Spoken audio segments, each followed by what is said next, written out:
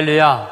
네, 주님을 찬양합니다. 선포되는 말씀이 여러분 각 사람에게 꼭 필요한 은혜가 될 줄로 믿습니다. 오늘 말씀의 제목은 헤로디아의 딸이라는 제목입니다. 5월 아, 뭐 계절의 여왕이라고도 하는데 또 오늘 어린이 주일인데 뭐 그렇게 우리는 밝은 마음으로 맞이하기가 참 힘든 그런 시대이죠. 아, 단원과 아이들, 그 많은 아이들이 희생당한 이 마당에 우리가 계절의 아름다움을 누리는 것도 죄스럽게 느껴지고 미안한 마음이 듭니다. 한번 아, 옆 사람하고 인사하시죠. 아, 그래도 희망을 갖고 기도합시다. 미안합니다. 사랑합니다. 그리고 한마디 더 하셔야죠. 어려워도 큐티합시다. 어려워도 큐티합시다. 어, 지난 수요일이었습니다. 4월 30일 홍대 지하철 입구에서 지하철에서부터 어, 서울 세월호 그 희생자들을 위한 서울 분향소까지 그 중고등학교 아이들이 어, 침묵 시위를 했죠. 외치는 말이 없었습니다. 그냥 조용히 피켓 하나 들고 침묵으로 걸어서 조용하게 갈 뿐이었습니다.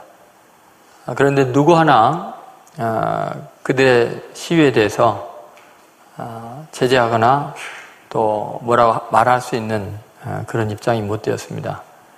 그 아이들이 그 피켓 하나 들고 있었는데 그 피켓에 써 있는 내용이 어른들을 향한 분노와 또 안타까움과 또 억울함 그런 호소가 다 담겨 있는 피해 절규처럼 느껴졌기 때문이죠.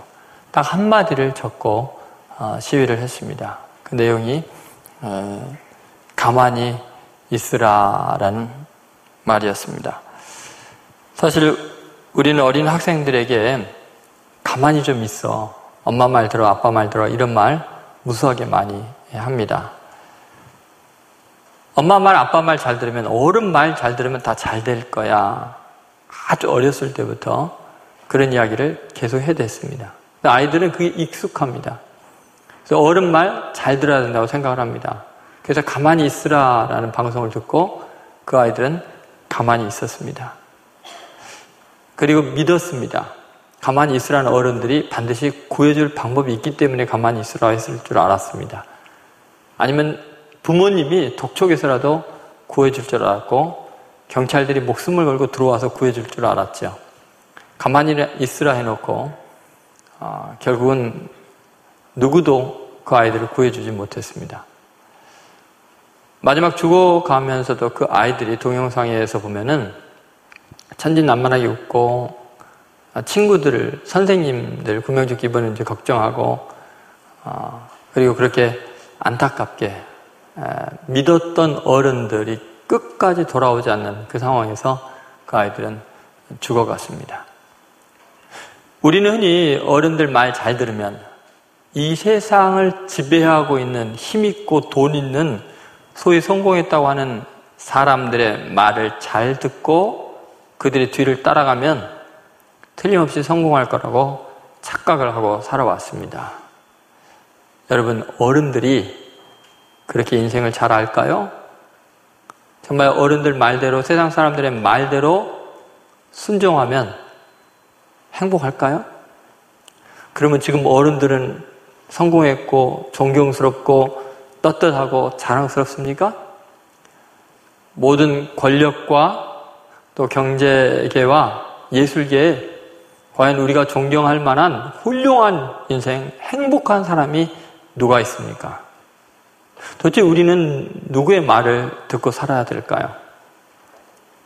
너무나 많은 아이들이 그 어린 어른들의 죄악과 그 탐욕과 그 욕정의 희생의 제물들이 되고 있습니다. 자기들의 인간관계에 받은 상처를 죄 없는 아이들, 태어난 아이들에게 잔혹하게 되었죠. 어, 여러분, 그 칠곡 계모 사건이었나요? 그런 것들 여러분 기억나세요? 얼마나 처참하게 아기를 죽입니까? 아, 너무 잔인하죠. 또 얼마 전에 강릉에서는 중3 아이가 자기 아버지를 살해하는 일이 일어났습니다.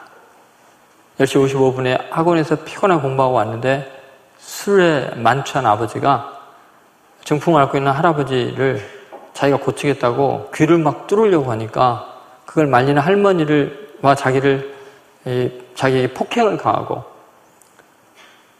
매번 술만 먹으면은 아, 그렇게 그 딸을 때리고 4살짜리 아이를 세탁기에다 집어넣고 돌리고 도저히 있을 수 없는 짓을 하고 학원에 찾아와서 애들이 보는 앞에서 발로 차고 어, 따귀를 때리고 비인격적으로 대하고 아버지가 배 타고 나가면은 그때야 너무 행복하다고 제발 좀 이런 날이 많이 있었으면 좋겠다고 그렇게 되뇌일 정도로 아버지의 선악에서 벗어나는 게 알코올 중독자의 손에 벗어나는 게 이 아이의 유일한 희망일 정도로 비참한 인생을 살았어요. 그렇게 15년을 애가 견디어 온 거예요. 그 할아버지를 지키려고 발버둥을 치다가 두들겨 맞으면서 옆에 있는 넥타이로 제재하다가 아버지를 결국은 그 살해하게 되죠. 누가 그 아이에게 죄를 물을 수 있겠어요? 그 15년을 그렇게 고통 가운데서 참아온 아이에게 그 충동적인 그 사건 앞에서 누구의 죄를 따질 수 있겠습니까? 너무나 많은 아이들이 어른들의 부패한 심령과 죄악과 이 악에 치우친 마음 때문에 타락한 성품 때문에 고통을 고스란히 당하는 거죠. 이런 일이 우리나라에만 있는 게 아니고 전 세계적으로 이 인간의 탐욕, 어른들의 탐욕이 아이들을 얼마나 비참하게 몰아가는지 모릅니다. 그 어린 아이들, 고사리 손 같은 아이들을 채석장이나 그 밖에 여러 가지 노동하는 양탄자 만들고 뭐 이런 데서 얼마나 혹사시키는지 이름 말할 수가 없습니다. 자신들의 쾌락을 위해서 아이들을 얼마나 잔혹하게 대하는지 아, 또 태어난 아기들의 호적도 올리지 않고 수백만 명의 아이들이 지금 인권 착취를 당하는데 죽어도 뭐 존, 세상에 존재하지 않기 때문에 그 아이들의 인권을 보호해줄 그런 어떤 방법이 없습니다. 어떤 제도와 어떤 노력을 기울인다고 이, 이 악이 사라질 수 있겠습니까? 어떻게 가능하겠어요? 결국은 한 사람 한 사람이 예수 그리스도를 구주로 영접하고 자기의 죄를 고백하고 하나님의 자녀로 거듭나지 않으면 이 땅의 탄식은 약한 자들의 탄식은 없어질 수가 없어요. 여러분 아무리 제도를 제도를 바꿔보세요. 얼마나 간악하게 그 제도를 피해서 악이 횡행하고 약한 자들을 어린 아이들을 혹사시키고 고통스럽게 하는지 결국은 복음 밖에는 살 길이 없어요. 불쌍한 아이들 지금 우리가 옆집 아저씨에게 아주머니에게 시장에서 장사하는 분들에게 길거리에 만난 사람들에게 복음을 안 전하면 그들은 자기 자신도 삶이 피곤하고 힘겨운데 사탄의 충동에 의해서 자기 주위에 약한 아이들, 자기 자녀들을 학대할 수밖에 없어요. 그게 무슨 짓을 하는지 몰라요. 격한 감정에 상한 심령 때문에 그런 일들을 저지르고 만드니까요. 그래서 우리는 복음을 전해야 돼요. 오늘 본문에 나오는 헤로디아의 딸 살로메 오늘 이 세례요한이 목이 잘려서 죽임을 당하는 이 일을 왜 어린이 주일 본문으로 선택했을까 여러분 궁금하실 거예요. 근데 헤로디아의 딸 살롬의 운명이 바로 요새 우리 아이들의 운명이 아닌가 하는 생각이 듭니다. 원래 이 헤로디아라는 말의 뜻은 영웅의 딸이란 말이에요. 근데 정말 영웅답지 못한 초라한 인생을 더러운 인생을 살게 되죠. 살로메라는 말은 샬롬에서 나왔습니다. 평화와 평안을 의미하죠. 그런데 살롬의 삶은 어렸을 때부터 벌써 세리원의 목을 베야 될 정도로 참혹한 그런 삶이었습니다.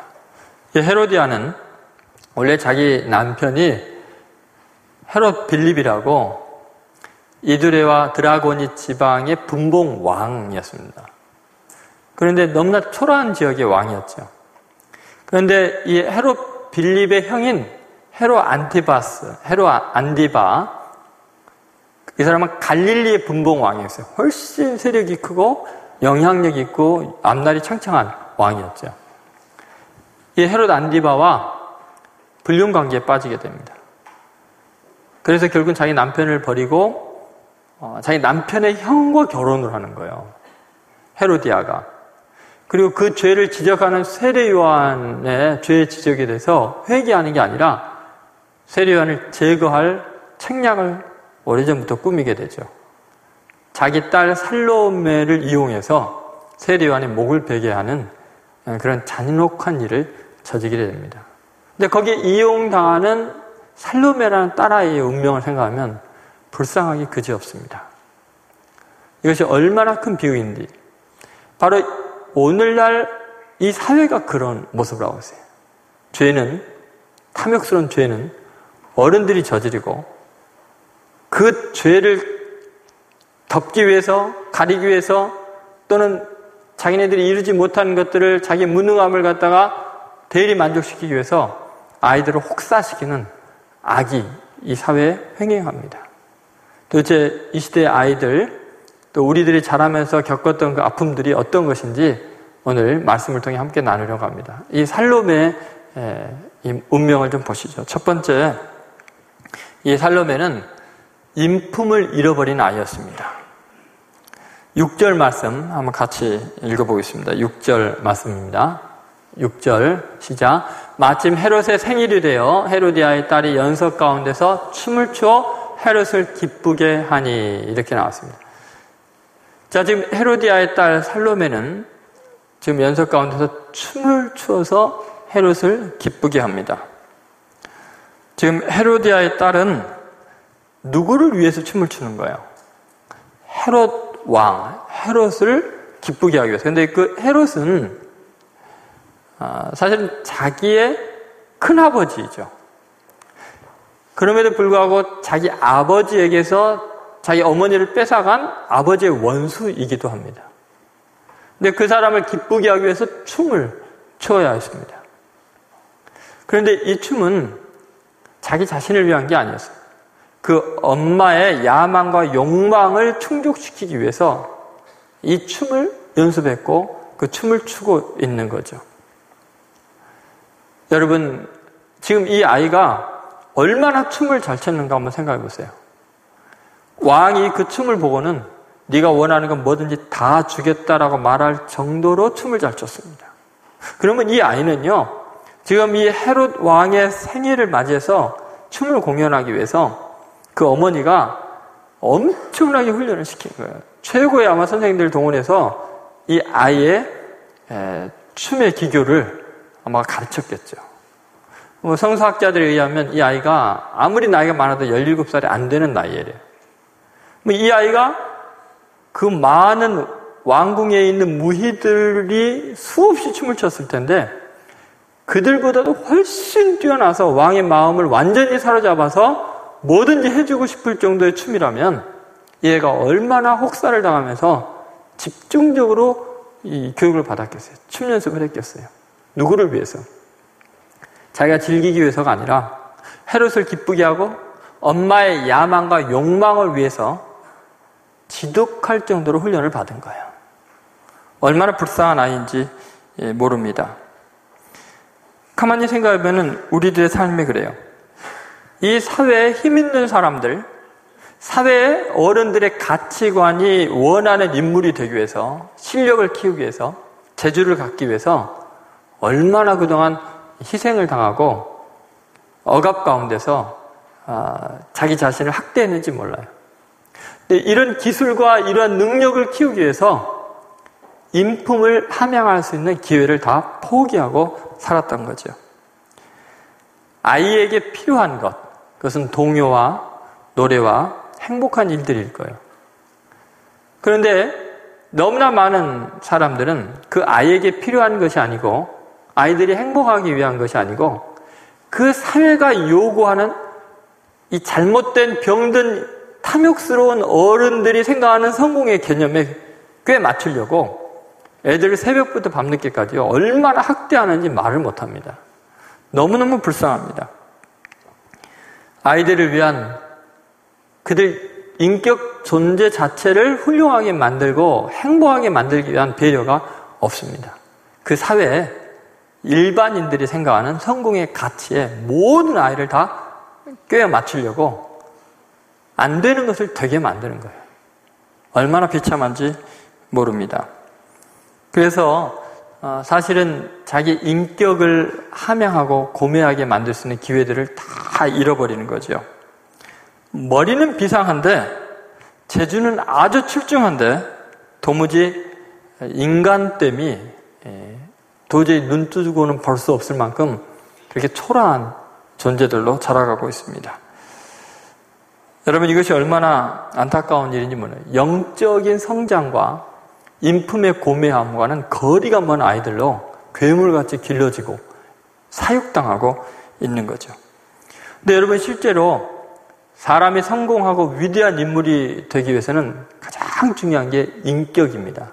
근데 그 인품, 인격이라는 것은 자기 조절 능력에서 나오는 거죠. 자기 조절 능력이 없으면 인품이 멍망이 되는 거죠. 근데 아이의 발견이라는 책에 보면은 어, 미국의 대부분의 신경학자들이 한 아이가 그 사회에서 훌륭한 인물이 되거나 학교에서 생활을 잘하는 가장 중요한 요소, 그게 뭘까를 연구를 했을 때 그 아이가 어떤 사회 계층에서 자랐느냐가 중요한 게 아니래요. 또, 어, 지능 지수가 얼마나 높냐, IQ가 얼마나 높냐도 중요한 게 아니래요. 그 아이의 대한 예측이 가장 정확하게 맞아떨어지는 것은 자기 조절 능력을 보면 안 돼요. 자기 조절 능력이 뛰어난 애는요, 환경이 아무리 어려워도 스스로 집중을 하고, 인내하고 꿈을 갖고 노력해서 훌륭한 사람이 돼버리고야 만 돼요. 그래서 자기 조절 능력이 가장 중요한 훌륭한 인격이 되는 아주 중요한 요소인데, 그것은 지식으로 이루어지는 게 아니고, 반드시 놀이를 통해서만 자기 조절 능력이 키워진대요. 생각해 보니까 그런 것 같아요. 저 어렸을 때 부모님들이 사는 게, 먹고 사는 게 바쁘니까 내버려 두면 우리는 온 동네 애들 다 모여가지고 오징어 놀이에다가 구들치기에다가 팽이치기에다가 고무줄 놀이에다가 또 모래 쌓아놓고 거기서 두꺼봐 두꺼봐 헌집짓게 놀면서 뭐 너무너무 재밌게 놀면서 무서운 형한테서 살아남는 방법 동네 형한테 두들겨 맞지 않는 방법. 그리고 밑에 쫄병들 데리고 다니면서 어떻게 얘네들을 도와주고 해야 되는 방법. 친구와 이간질하는 상태에서도 어떻게 다시 화해하는 방법. 이거요, 다 배워요. 나한테 못되게 한 친구하고도 나중에는 결국 화해하는 법도 다 배우고요. 감정 추스리는 거 다 놀이를 통해서 배우거든요. 근데 요새 아이들은요, 놀 친구가 없어요. 놀이터에 가도 아무도 없어요. 혼자서 멍하니 서 있다가 돌아와야 돼요. 여러분 지금 자기 조절 능력, 인품, 인격을 형성하는 데 필요한 모든 기회가 완전히 박탈당한 것이 이 아이들의 모습이죠. 그러다 보니까 사회성이 없고요. 성공이라는 개념을 다른 사람을 짓누르고 이겨야만 성공이라고 착각을 하고 있는 거예요. 네, 여러분 성공이 그런 거예요? 성공은 다른 사람의 그늘이 되어주고 많은 사람을 돌봐주고 배려해주고 품어주고 이런 게 성공이 아닐까요? 어떻게 남에게 이기는 것만을 성공이라고 생각을 하는지 모르겠어요. 이 사회가 너무 심각하게 병들었습니다. 지금은 살로메가 그런 어머니, 그런 집안 분위기에서 자란 거예요. 얼마나 불쌍한지 몰라요. 나중에는 신기하게 그 어머니 밑에서 그런 가치관, 그런 사회적인 분위기 속에 자라니까 이해도 똑같은 길을 가요. 이 살로메가요, 자기의 숙부인 빌립과 숙부와 결혼해, 아저씨와 결혼을 해요. 헤롯 빌립이 아닌 또 다른 빌립이라는 숙부가 있었거든요. 그리고 얼마 있다 이혼하고는 자기의 조카, 아리스토블루스라는 자기 조카와 또 결혼을 해요. 온통 권력과 욕망의 노예가 돼서 처참한 인생을 사는 거예요. 너무너무 비인격적으로 어, 타락한 인생을 살게 되는 거죠. 그럼 이 아이의 잘못이냐고요. 그 사회가 그렇게 교육시키고 그걸 성공이라고 여기니까 지 엄마가 하는 그대로 그 상류 사회가 하는 그대로 타락한 모습을 애가 그대로 본받아 가는 거죠. 어, 대학을 간 나온 어, 한 여자 선생님이 있었습니다. 미국의 나바호 인디안 보호 구역에 이제 초등학교 담임 선생님으로 배치가 됐어요. 근데 이 선생님이 수업 시간에 칠판에 수학 문제를 다섯 개를 내놓고 다섯 명을 나와서 문제를 풀라고 했습니다. 근데 애들이 나왔는데 풀지를 않고 그냥 가만히 서 있는 거예요. 문제만 바라만 보고 그래서 어서 풀어라 하는데 풀지를 않는 거예요. 아무리 풀으라 그래도 애들이 문제를 안 풀어요. 그래서 너무 기가 막혀서 들여보냈어요. 다른 애들 나오라 해서 세워놓고 문제 풀었는데 안 풀어요. 너무 이해가 안 돼서 수업을 그냥 진행을 했어요. 자기가 하고. 나중에 애를 불러서 물어봤어요. 니네들 왜 문제를 칠판에 풀으라고 하는데 안 푸니? 했더니 그 아이들이 하는 말이 이런 말이에요. 선생님, 우리는 부모님께 배우기를 친구를 배려하라 그랬고, 다른 친구들의 마음에 상처를 줘서는 안 된다 그랬고, 서로 돕고, 서로 격려하면서 살아 그랬는데, 만약에 제가 앞에 나와서 문제를 잘 풀면, 다른 친구 중에 못 푸는 친구들이 있는데, 그 친구들은 그러면은 마음에 상처를 받지 않냐는 거예요. 내 친구가 불쌍하지 않냐는 거예요. 내가 잘 푸는 것 때문에 다른 친구가 마음에 상처를 받으면 내가 슬프기 때문에 함께 다 같이 잘 돼야 되기 때문에 문제를 안 풀었습니다. 그랬다는 거예요. 이 선생님이 너무 감동을 해가지고 그다음부터 애들 테스트는 개인적으로 비밀리에 하는 교육 방식으로 시스템 바꿨대요. 여러분 같으면 어떻게 하겠어요? 안 푼다고 서, 서 있으면. 너 일로 와. 가만히 두겠어요? 근데 여러분, 이 시대의 가장 큰 아픔이 뭐냐면 애들에게서 인격성을 말살해 가는 거예요. 경쟁심만 심어주는 거예요. 여러분 정말 성공했다 훌륭하다는 것은 뭐냐 인품이 훌륭하다는 걸 말해요. 예수님께서 서로 사랑하라 그랬죠. 원수도 사랑하라 그랬잖아요.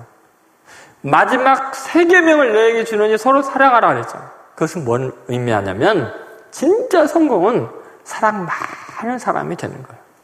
남을 배려하고 상대편 입장을 이해해주고 나에게 해코지 않은 사람도 불쌍히 여기서 위해서 기도해주는 사람 그 인품이 고매한 것이 최고 성공한 거지. 돈을 많이 번다고 성공한 게 아니에요. 지금 돈 많이 번 사람이 이 짓 했잖아요. 수없이 많은 아이들 다 죽였잖아요. 권력 있고 힘 있는 자리에 있는 사람들이 똑바로 일 처리한 사람 하나도 없잖아요. 다른 사람의 입장을 배려하는 마음만 있어도요 이렇게 많은 아이들이 죽지 않았어요. 아무 쓸모 없어요, 그런 것들이. 근본적으로 인격자들이 되지 않으면, 인품이 훌륭하지 않으면 돈도 권력도 재주도 다 악으로 치달을 뿐이죠. 그것은 성공이 아니에요. 여러분, 이것이 얼마나 안타까운 일인지 모릅니다. 이 시대에 정말 하나님 앞에서 고귀한 사람들, 인품이 훌륭한 사람들이 필요해요. 하나님은 물질 필요하면 얼마든지 주실 수 있어요. 천지를 무에서 유로 창조하신 분이니까. 그분은 필요하면 돈 주실 수 있어요. 이 땅에 많은 사람이 돈 버는 이유는 하나님의 마음대로 쓰시기 위해서예요. 정말 중요한 것은 하나님의 뜻대로 사랑 많은 사람이 되는 거예요. 여러분, 지금 여러분 성공했어요? 실패했어요? 그 기준이 헤로디아 같은 기준으로 하면 안 돼요. 시집 잘 가는 게 부자로 권력 있는 사람들이 시집 가는 게 성공이에요? 돈 많이 번게 성공이에요? 아니에요. 그럼 배우자 고를 때 어떤 사람 고를 거예요? 인품이 훌륭한 사람을 골라야 돼요. 정말 훌륭한 사람 골라야 돼요. 그렇지 않으면 여러분은 평생을 고생하게 돼 있어요. 세속적인 가치에 속아서는 안 돼요. 인품이 훌륭한 사람, 그런 사람들이 되길 바라고 또 여러분의 후배들을 그렇게 키워나가야 돼요. 저는 여러분이 선생님이든 또는 회사에서 아, 좀 중간 보수 자리에 있든 밑에 있는 사람들에게 뭐를 요구할지를 잘 생각하길 바래요. 그리고 이 시대가 정말 새롭게 치유돼서 인격자들이 존중이 여김받고 그것이 인생의 꿈이 되는 그런 시대가 되기를 간절히 소망합니다. 어, 두 번째, 이 살로메의 비극, 이 시대 아이들의 비극은 꿈을 잃은 아이들이라는 거예요. 얼마나 불쌍한지 모릅니다. 7절, 8절 내용을 한번 같이 읽어보겠습니다. 헤롯이 맹세로 그에게 무엇이든지 달라는 대로 주겠다고 약속하거늘 그가 제 어머니의 시킴을 듣고 이르되 세례 요한의 머리를 소반에 얹어 여기서 내게 주소서 하니 여러분 지금 아, 이 아이가 꿈을 잃어버린 것을 어떻게 알 수 있는가? 춤을 너무 잘 추니까 헤롯이 감동을 해갖고 네가 원하는 거 소원 다 이루어주겠다. 어? 무엇이든지 달라는 대로 주겠다고 약속을 했습니다. 만약에 여러분에게 누가 그렇게 너 소원 다 이루어줄게 말해 그럼 여러분 뭐라 그럴래요? 지금 살로메는 뭐라 그래요? 요새 아이들에게 너 꿈이 뭐니 원하는 대로 해줄게 뭐라 그럴까 애들이? 잠깐만요 엄마한테 가서 물어보고 올게요 그럴 거예요. 엄마한테 물어보는데 왜요? 옛날부터 엄마가 시키는 대로 안 하면 혼났거든.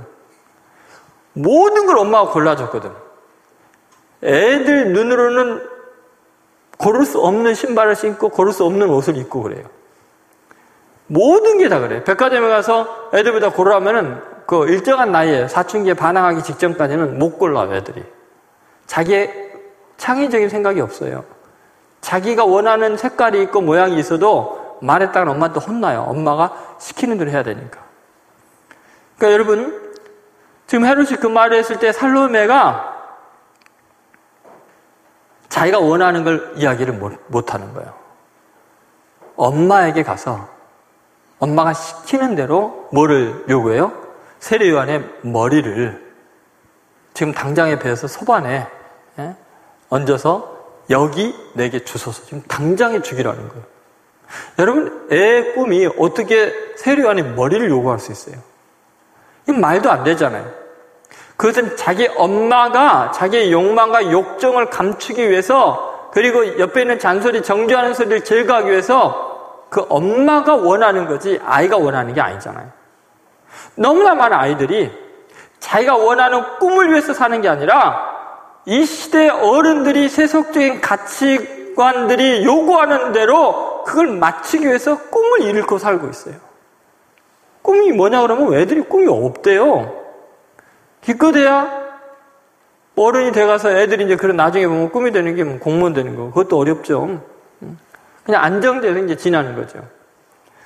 여러분 정말 여러분들이 예, 얼마나 아픈 세월들을 지금 보내고 이 자리에 와 있어요. 여러분 얼굴이 그 정도 화난 것도 저는 기적이라고 생각해요. 얼마나 부모에게 이 세상, 이 시대의 가치 기준에 거기에 부합하지 못하면 실패한 인생으로 정죄하면서 그런 인간이 되라고 세례 요한의 머리를 소반에 담아서 내게 달라고 아이답지 않고 청년답지 못한 꿈을 지금 갖고 있잖아요. 청년이면 기백이 있어야죠. 의로움과 사랑에 대한 열정이 있어야 되는데 팍싹 다들 늙어 있잖아요. 제가 동안이 아니라 여러분이 사은 거 아니에요? 얼마나 안타까운 현실이에요. 왜냐하면 세상 어른들의 요구사항에 쩔여 있는 거예요, 지금. 내가 원하는 게 뭔지를 모르고 살아온 거예요. 세상이 원하는 그 스펙에 맞추려고 정신없이 살다 보니까 다 잃어버린 거예요. 비참한 인생이 된 거죠. 병든 어른들이 정신질환적인 아, 이 발작 증상으로 애들을 너무너무 학대하고 있어요. 이거 어떻게 끊어야 될까요? 저는 정말 평생의 기도 제목이에요. 이거 끊어야 돼요. 더 이상 애들을 학대해서는 안 돼요. 애들의 깨끗한 영혼을 더럽히게 이 사회를 내버려둬서는 안 돼요. 이거 반드시 고쳐져야 돼요. 어른들이 원하는 것은 성적이지 우정이 아니죠. 어른들이 원하는 것은 영어 단어지 애들이 개미를 보고 꽃을 보고 감탄하면서 하는 감성적인 예쁜 용어들이 아니죠. 어른들이 원하는 것은 돈 하나라도 더 벌 수 있는 수학 공식이지 아름다운 사람을 보고 칭찬하고 격려할 수 있는 예쁜 동요 같은 노래가 아니죠. 여러분, 왜 아이들의 꿈을 우리 어른들의 타락한 탐심으로 인해서 다 더럽히고 있냐고요. 이것이 비극이에요. 사탄이 이 세상을 저주할 때 일어나는 현상은 이 사탄이 전부 다 아이들을 자기 닮게 만들기 위해서 어른들의 탐욕을 이용해서 애들을 타락시키고 있는 거예요. 꿈을 잃어버리게 하는 거예요. 아이들의 순수한 마음을 변질시키고 있는 거죠. 여러분, 이 아이들은 그렇게 세상에 이 어른들의 악한 탐욕에 길들여지다 보면은 나중에 이 아이들은 죄책감과 상처 투성이로 자라게 돼. 그럼 나중에 그 세상이 얼마나 살벌하겠어요. 그들이 리더가 되는데 살롬에 평생을 아마 세례요한의 목에 피가 흐르고 어, 눈 부릅뜨고 죽은 그 선지자의 그 머리가 평생을 자기를 괴롭혔을 거예요. 그런데 정상적으로 살 수 있겠냐고요. 정서적으로, 인격적으로 온전하겠냐고요. 이 시대에 너무나 많은 아이들이 이렇게 혹사 당하고 있습니다.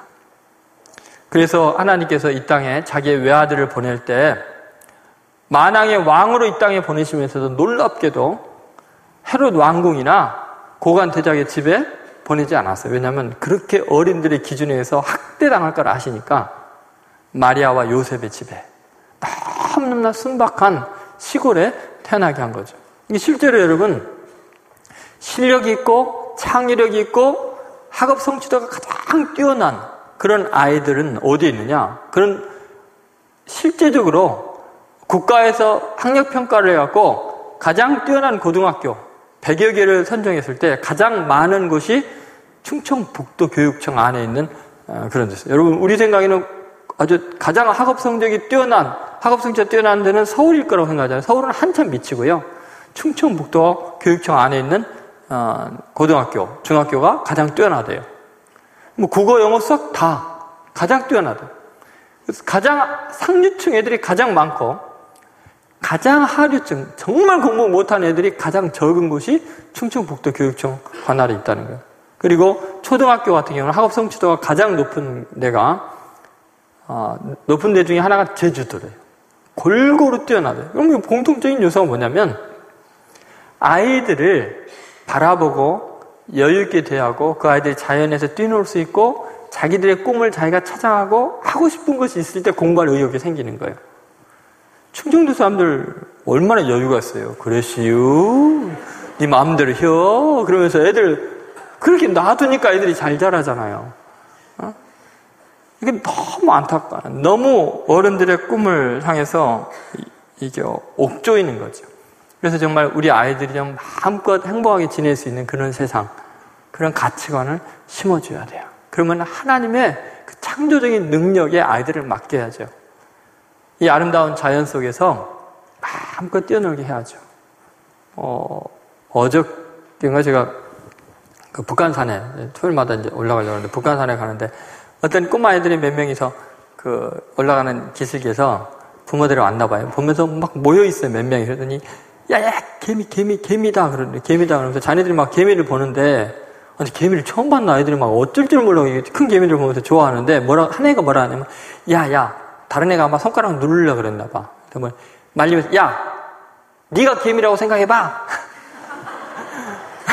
네가 개미라고 생각해 봐. 얼마나 아프겠어. 그러지 마. 그러는 거예요. 조그만 애가 응? 유치원에 다니는 애가. 근데 그 보세요. 그냥 내버려 두면요. 그렇게 애들이 서로 어, 아름다운 꿈을 꾸면서 잘 자란다니까요. 어른들이 다 망치는 거예요. 어른들이 망치는 거예요. 세 번째, 교육 기회를 잃은 아이. 교육 기회를 잃은 아이. 9절부터 11절 말씀 한번 같이 읽어보겠습니다. 9절부터 11절입니다. 왕이 근심하나 자기가 맹세한 것과 그 함께 앉은 사람들 때문에 주라 명하고 사람을 보내어 옥에서 요한의 목을 베어 그 머리를 소반에 얹어서 그 소녀에게 주니 그가 자기 어머니에게로 가져가니라. 여러분, 여기 보면 헤롯이 근심한다고 나오죠. 구절에. 왜 근심해요? 지금 살로메가 너 소원이 뭐냐라고 했을 때 살로메의 대답이 뭐 예쁜 인형 주세요, 뭐 강아지 선물 주세요 그럴 줄 안 거야. 소녀의 생각에서 달라는 게 뭐겠어요? 그러니까 네가 원하는 거 다 주겠다. 다 줄 수 있으니까. 근데 세례 요한이 머리를 요구할 거는 상상을 못 한 거죠. 한편은 은근히 좋았겠죠. 세례 요한 죽이고 싶었는데 죽일 수 있는 방법이 없었는데. 근데 여러분 그 이야기를 듣고 헤롯이 근심했다고 나와요. 여러분 애가 그런 요구를 하면 근심이 돼야 되잖아요. 그죠? 도대체 제 머릿속에 뭐가 있는 거야? 도대체 제가 어떻게 저렇게 애인데 소녀가 저렇게 춤을 예쁘게 잘 추는 애가 저렇게 잔혹한 욕을 할수 있을까 하면서 근심해야 되잖아요. 근데 그 근심이 아니고 뭐 때문에 근심했어요? 구절 잘 보면 근심한 이유가 뭐예요? 왕이 근심하나 뭐라고요? 자기가 맹세한 것과 그 함께 앉은 사람들 때문에. 여러분 근심하는 이유가 완전히 애는 배제되어 있어요. 신전이 자기의 체면, 주위에 있는 사람의 눈치, 이것 때문에 애한테 마땅히 교육시켜야 될 걸 포기하고 있는 거예요. 오히려 이래야 되잖아요. 떼끼놈. 애가 돼갖고 못하는 말이 없어요. 다시는 그런 말 하지 말아요. 더 좋은 거 줄게. 그런 거 요구하는 게 아니야. 교육을 시켜야 될 거 아니에요. 교육을. 애들은 그러면 안 돼. 그래야 되잖아요. 근데 이용하고 있잖아요. 그리고 근심하는 이유도 완전히 애는 배제되어 있죠. 애의 입장은 배제되어 있죠. 순전히 자기 명예 때문에. 사람들 눈치 때문에. 여러분, 애들이요. 교육 받을 기회를 완전히 박탈당하고 있어요. 사람다운 교육을 못 받아요. 왜냐하면 어른들의 이기심과 탐욕 때문에 애들이 완전히 배제되고 있는 거죠. 성경은 아이에게 마땅히 가르칠 바를 가르치라. 그리하면 늙어서도 떠나지 아니하리라. 이렇게 이야기를 하고 있어요. 그런데 이제 어른들은 그걸 가르칠 수 있는 자격 자체가 없어요. 제가 어렸을 때 어, 어른들이 술 먹는 거 나쁜 거다, 담배 피우는 거 몸에 안 좋다 하지 말아라. 그래서 저는 지금까지 어른들의 말 그대로 술도 안 먹고 담배도 못 피워요.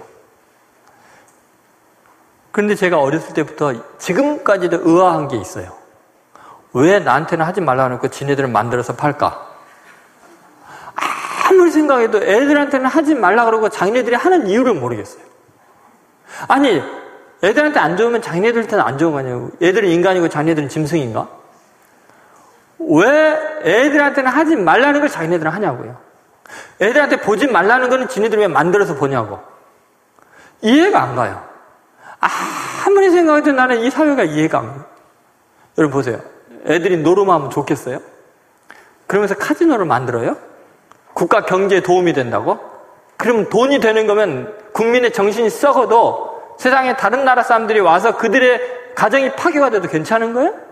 도대체 제정신이? 강원도 탄광촌에 경제 부흥을 일으킨다고 거기다가 그 카지노들 만들어 놓고 얼마나 많은 가정들이 파괴된 줄 알아요? 얼마나 비참해진 줄 아세요? 도대체 돈이면은 윤리도 없고 다른 사람에 대한 배려도 없는 거예요? 무슨 짓을 하는지 몰라요, 어른들은. 너무너무나 이 어른들의 세계가 썩어 있어가지고 병들어서 아이들을 가르칠 수가 없어요. 애들이요, 생각이 드는 순간부터 어른들은 정말 우습게 보이기 시작한 거예요. 얼마나 한심한지 모릅니다. 여러분, 내가 분노하고 내가 막 주체를 못하면서 애들한테 화내지 말라고 말할 수 있어요? 매일 애들 앞에서 부부싸움 하면서 너 왜 동생과 싸우니 친구와 싸우지 말고 행복하게 지내라 그럴 수 있어요? 자기는 죄와 욕정에 노예가 돼 있으면서 애들한테 착하고 선하고 훌륭한 인격자가 되라고 말할 수 있냐고요. 아니, 이 사회에 누가 애들한테 교육할 수 있냐고요. 누가 말할 수 있냐고요. 자기네들 타락하고 부패하고 돈 있으면 마음껏 타락하고 권력 있으면 못되게 행패 부리면서 어떻게 아이들한테 훌륭한 인물이 되라고 말할 수 있냐고. 이 사회에 누가 애들을 교육시킬 수 있는 자격이 있냐고요.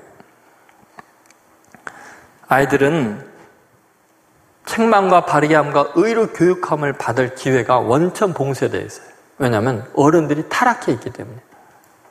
이것을 바로잡고 이 아이들의 불쌍한 것을 회복할 수 있는 길이 없어요. 어떤 것으로 안 돼요. 어른들 한 사람 한 사람이 살아계신 하나님을 만나고 예수 그리스도의 구속의 은총으로 죄 사함을 받고 거룩한 새 사람이 되고 하나님의 자녀가 되지 않으면 희망이 없어요. 복음 밖에는 아이들을 살릴 길이 없어요. 그 잔혹한 인간들의 어른들의 탐욕의 희생물이 되는 건 막는 방법 어른들이 회개하는 길밖에 없어요. 변화되는 길밖에 없어요. 주님은 어른들의 이 죄성에 대해서 분명히 돌이키기를 바라시는 거예요. 그래서 마태복음 18장 3절에 보면 주님이 이렇게 말씀하셨죠. 같이 읽겠습니다. 이르시되 진실로 너에게 이르노니 너희가 돌이켜 어린아이들과 같이 되지 아니하면 결단코 천국에 들어가지 못하리라. 누구의 말이에요? 누구 말이에요? 예수님 말씀이죠. 근데 예수님 말씀인데 예수님이요 웬만해서는 결단코 말 안 해요. 결단코라는 말 안 해요. 왜요? 예수님 말씀하면 그대로 되니까. 근데 결단코라는 건 작심하고 하시는 말씀이에요. 분명히 뭐라 하냐면 너희가 돌이키라 했어요. 어린 아이들과 같이 되지 아니하면 결단코 천국에 못 가리라. 이 말씀 믿습니까? 예수님의 말씀을 믿습니까? 예수님 못 간다 하면 못 가요. 교통순경이 못 들어간다 못 들어가는데 예? 판사가 안 된다고 하면 안 되는데 예수님이 말하는 걸 우습게 여깁니까? 여러분 왜 어른이 되려고 하세요? 왜 목에 힘주고 권위의식 부리고 높아지려고 하고 횡포 부리려고 하세요? 왜 어른이 되려고 하시냐고? 왜 순수해지지 못해요? 왜 어린아이 같이 천진난만하면 잃어가려고? 왜 자꾸 얼굴이 굳어지고? 왜 자꾸 교만해지고 그러세요? 어린아이 좀 천진난만하면 안 돼요? 언제부터 어린아이 같은 마음을 포기하고 있었어요? 왜 사회에서 몇 번 당한 것 때문에 포기해요? 그럼 지옥 간다니까요. 어린아이가 다 지지 않으면 절대로 못 가요. 천국에는 어른 없어요. 어린아이 같은 어른이 있을 거예요. 여러분 순수해지세요. 세상에 물들지 마세요. 어른 닮아서 유익한 거 하나도 없습니다. 자꾸 어린 아이들 보세요. 해맑게 웃고 겉과 속이 다르면 안 돼요. 앞에서 하는 말과 뒤에 하는 말이 달라서도 안 되고요. 정말 천진난만해야 돼요. 순수함을 잃어버리면 안 돼요. 예수님 말씀이기 때문에요. 어떤 교리로도 장로교 교리로도 이 말씀 뛰어넘지 못해요. 착각하지 마세요. 여러분 어떤 교리 붙들고 나는 이러니까 구원받을 수 있다. 천만에 예수님은 결단코 안 된다는데 방법은 하나밖에 없어요. 어린아이 같아지는 거예요. 천진난만해져야 돼요.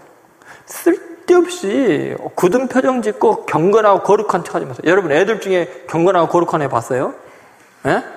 그걸 종교라고 합니까? 그게 불교고 유교지? 여기는 기독교잖아요. 예수교잖아요. 그럼 어린아이 같아져야 돼요. 목사도 어린아이 같아져야 되고요. 장로님도 어린아이 같아져야 되고, 권사님도 어린아이 같아져야 돼요. 그렇지 않으면 전부 다 위선이에요. 바리새인이에요. 서기관들이에요.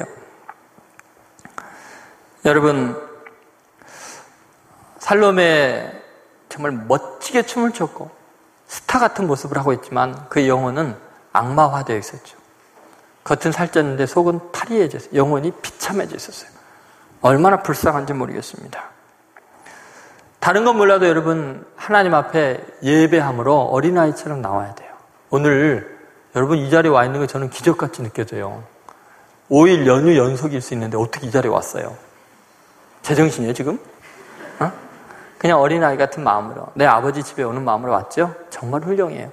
그 마음 죽을 때까지 변치 말고요. 무슨 일이 있어도 내 하나님 전에 온다. 기본적으로 하나님을 예배하는 마음 이어서는 안 돼요. 어른같이 계산해갖고 이걸로 무슨 이익을 취할 걸로 하나님의 시간 빼돌려갖고 그 시간에 내가 장사하거나 유명한 사람 만나서 득 볼 것 같아요?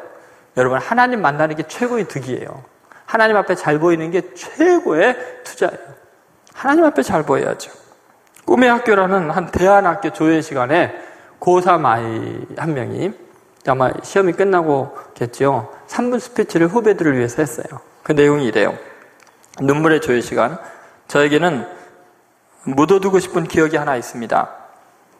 저를 무척이나 힘들고 지치고 슬프게 만든 기억인데 지금 여러분 앞에서 말할 수 있는 것은 제가 그 기억으로부터 자유로워졌기 때문입니다. 어릴 적 저는 이곳저곳으로 자주 옮겨 다니며 살았습니다. 근데 집을 옮길 때마다 엄마가 번갈아 바뀌곤 했습니다. 그때는 철물을 나이어서 누구나 엄마가 둘씩 있는 줄 알았습니다. 평범한 가정은 엄마가 한 분이라는 걸 알게 된 때는 제 나이 10살쯤입니다. 그리고 어느 순간 엄마는 더 이상 바뀌지 않았고 그분은 저를 낳아주신 분이 아니라는 걸 알았습니다. 그런 상황은 저를 무척이나 혼란스럽게 했고 두렵게 했습니다. 혹시나 아버지나 어머니가 나를 버리지는 않을까 하는 두려움이 늘 있었습니다. 그 두려움에서 벗어나고자 정신병원에도 간 적이 있습니다. 그러던 중 꿈의 학교에 오게 되었고 기숙사 생활을 하게 되었습니다. 드디어 내가 가족에서 떨어졌구나. 부모님은 이제 알턴 일을 뺀 느낌이겠구나. 라고 생각했습니다. 제 가족은 아버지와 어머니, 여동생 두 명 그리고 접니다. 여동생들은 어머니가 낳았고 저는 아닙니다. 그래서 어머니가 저를 멀리 하려고 꿈의 학교에 보낸 줄 알았습니다. 그런데 오랜 세월이 흐르고 나서야 그것이 크나큰 오해였음을 알게 되었습니다. 어머니 아버지께서 저를 얼마나 사랑하시는지 그렇게 사랑하지 않고는 꿈의 학교에 보낼 수 없다는 것도 알게 되었습니다. 사랑하는 꿈쟁이 여러분, 여러분도 각자 마음에 크고 작은 걱정거리를 안고 살아갈 것입니다. 그 걱정거리를 꺼내기가 두렵고 힘들다는 것도 압니다. 하지만 상처를 치유하지 않고 마음속에 담아두기만 한다면 그것은 썩어버릴 것입니다. 힘든 시기를 겪어본 선배로서 부탁하고 권고합니다. 여러분의 아픔을 마음에 묻어두지 말고 꺼내어서 함께 나누고 치유합시다. 저는 꿈쟁이 여러분 모두가 자신의 상처로부터 자유하기를 소망합니다. 감사합니다. 월요 조회 시간에 있었던 고3의 3분 스피치였습니다. 발표를 마치고 강단에서 내려가는 학생을 교감 선생님이 붙잡았습니다.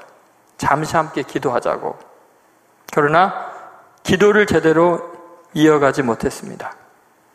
기도는 그대로 눈물이 되었습니다. 강단은 어느 때보다 조용했고 소리 없는 눈물이 강물처럼 모두의 가슴을 적시고 있었습니다. 여러분, 대한학교가 어떻게 가르쳤는지 모르겠지만 그 아이의 어렸을 때부터 두려움으로 상처난 그 마음을 그 공동체가 치유하고 감싸고 있는 거예요. 여러분, 교회가 대한학교보다는 나, 나아야 되잖아요. 어렸을 때부터 여러분 중에는 부모 때문에 또는 그 누군가 어른들 때문에 치유될 수 없는 상처를 안고 살 수 있어요. 그런데 교회 오니까 너무너무나 고매한 훌륭한 형들이, 누나들이, 또 동생들이 자기를 품어주고 이해해주는 그 공동체 안에서 과거에 자기에게 악을 행했던 부모에 대해서나 또는 친척이나 어른들에 대해서 용서하는 마음까지 생기도록 치유하는 공동체가 되어야 돼요. 그런 의미에서 여러분, 예배만 드리고 하는 건 아무 의미가 없어요. 예배 후에 소그룹 성경 공부에 들어가서 여러분 속에 있는 아픔 곰지 않도록 드러내놓고 이야기하고 훌륭한 좋은 어, 형들 또 누나들 치유를 받아야죠. 그리고 또 누군가를 위로하고 치유하기 위해서 자기 상처를 내놓을 용기도 있어야죠. 1950년대까지 인구 3만 명에 불과했던 하와이에 카우아이라는 섬이 있어요. 근데 이 섬은 너무 가난하고 질병이 창궐했고 알코올 중독자, 정신질환자들이 대부분이었어요.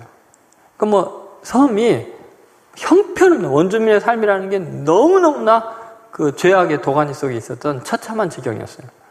그래서 어, 이 1955년에 카와이 섬에 태어날 아이들 833명을 대상으로 대규모 프로젝트가 진행이 됩니다.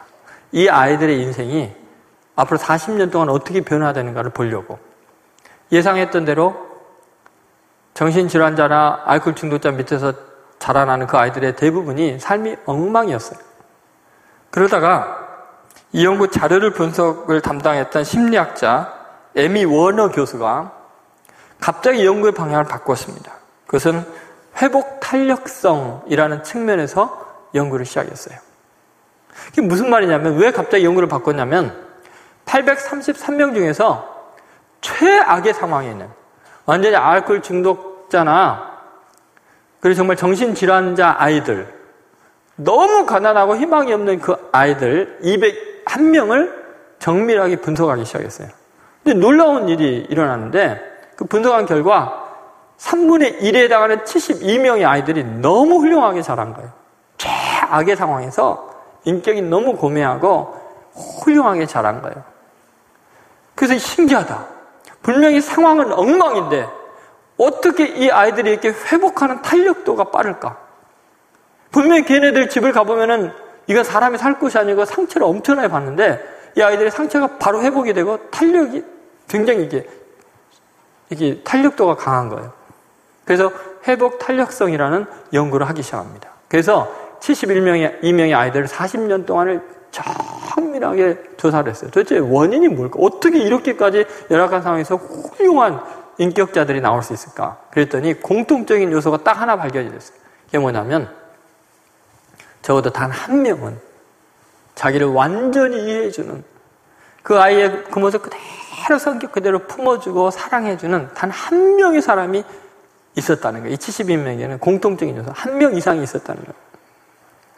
다시 말해서 아무리 아파도 아무리 구조적인 악속에 있어도 아무리 저주를 받고 두들겨 맞으면서 자라도 그 누군가가 나를 품어주고 이해해주는 단 한 명이 있으면 아이는 선천적으로 너무 낙천적인 성격을 하나님이 주셨기 때문에 아이들은 회복이 되는 거예요.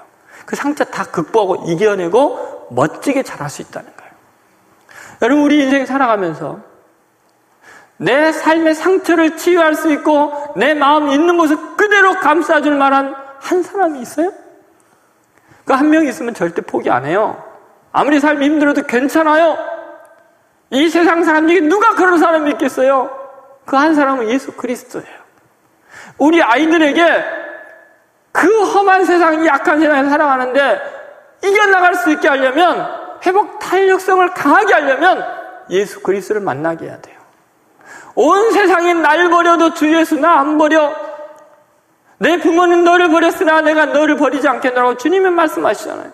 하나님 만나게 해야 돼. 이 아이들이 하나님 만나면 아무리 악한 세상에서 혹독한 부모의 시련 앞에서 애들이 살아남을 줄로 믿습니다. 여러분도 마찬가지예요.